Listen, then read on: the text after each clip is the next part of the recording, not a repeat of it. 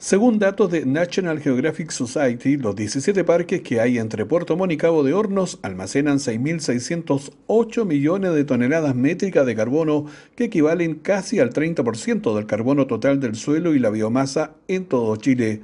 Con 26.000 toneladas métricas por kilómetro cuadrado, Chile es el segundo país con la densidad de carbono total más alta de América del Sur, luego de Colombia. La ruta de los parques de la Patagonia es un territorio clave para la mitigación del cambio climático y enfrentar la crisis de extinción de especies.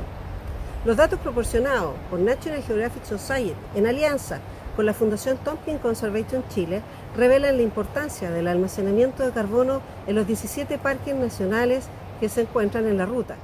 La Fundación Tompkins Conservation comparó los datos proporcionados por National Geographic Society con otros estudios respecto de la Amazonía y los resultados nos dieron que el almacenamiento de carbono por hectárea eh, de Chile, de la ruta de los parques específicamente, corresponde a casi tres veces más que el almacenamiento de carbono por hectárea de la Amazonía. Los datos son relevantes para elevar el valor ambiental que posee la ruta de los parques de la Patagonia y darse cuenta de que en Chile existe un gran pulmón verde no solo para el país, sino que para el mundo entero. Los bosques desempeñan una función decisiva para determinar la acumulación de gases de efecto invernadero en la atmósfera, ya que actúan como sumidores de carbono, absorbiendo el CO2 e incorporándolo a través de la fotosíntesis a su estructura.